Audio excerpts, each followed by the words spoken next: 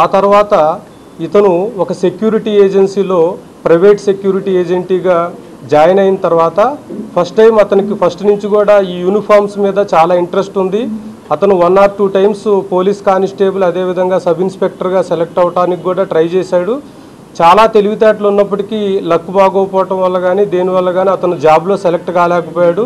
So అతనికి ఉన్నటువంటి ఆ ఫ్యాషన్ని సాటిస్ఫై చేసుకోవటానికి సెక్యూరిటీ ఏజెంట్గా జాయిన్ అయ్యి ఆ సెక్యూరిటీ ఏజెన్సీలో పనిచేస్తున్నటువంటి ఒక రిటైర్డ్ ఆర్మీకి సంబంధించినటువంటి అతనితో అతనికి ఏర్పడినటువంటి పరిచయంలో భాగంగా ఆర్మీలో ఉన్నటువంటి అన్ని ర్యాంక్స్ వాటికి సంబంధించినటువంటి యూనిఫామ్స్ బ్యాడ్జెస్ గురించి చాలా కూలంకుషమైనటువంటి అవగాహనని ఏర్పరచుకున్న తర్వాత వాటన్నిటినీ ఎక్వైర్ చేశాడు. వాటన్నిటినీ చేసి ఒక మేజర్గా అపాయింట్ అయినట్టు మిలిటరీలో మేజర్ అనేది ర్యాంక్ అనేది చాలా హయ్యెస్ట్ లెవెల్ రిక్రూట్మెంటు ఒక మేజర్గా రిక్రూట్ అయినట్టు ఊర్లో వాళ్ళందరినీ కూడా నమ్మించడం జరిగింది.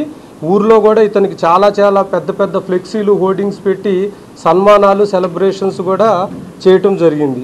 అతనికి ఏ ర్యాంక్ ఆర్మీలో ఎలాంటి పెన్షన్ స్కీమ్స్ ఉన్నాయి ఆర్మీలో ఆఫీసర్స్కి ఎలాంటి మెడల్స్ ఇస్తారు ఎలాంటి శాలరీకి సంబంధించిన ఫెసిలిటీస్ ఉన్నాయి ఇవన్నీ కూడా ఉండటం వల్ల కూడా ఎక్కడ ఎవ్వరికి ఎలాంటి అనుమానం రాకుండా అన్ని ఇష్యూస్ని హ్యాండిల్ చేయటం జరిగింది. అతనికి సంబంధించినటువంటి ఫోటోలు కూడా చూస్తే అతనికి వచ్చినన్ని రివార్డులు నాకు తెలిసి ఆర్మీలో ఉన్న వాళ్ళకి కూడా ఎవరికి వచ్చి ఉండవు. చాలామంది ఈవెన్ ధోని కూడా మనం చూసాము ధోని కూడా ఆర్మీ ఆఫీసర్గా అతనికి గౌరవం గురించి అతనికి ఇస్తే అతనితో కూడా ఈయనకి ఫోటోలు ఉన్నాయి. అదేవిధంగా మేజర్ జనరల్ బిపిన్ రావత్ గారితో కూడా అతనికి ఫోటోలు ఉన్నట్లు మొత్తం ఊర్లో ప్రచారం చేసుకోవడం జరిగింది. ఊర్లో వాళ్ళందరూ కూడా అతను ఒక ఇన్స్పిరేషన్గా వాళ్ళ పిల్లలకు కూడా అతన్ని ప్రొజెక్ట్ చేయడం జరిగింది. ఆ తర్వాత ఇక ఇతను దీన్ని ఈ యూనిఫామ్ని అడ్డుగా పెట్టుకొని ఎక్స్టార్షన్స్ చేయటం అనేది స్టార్ట్ చేయడం జరిగింది.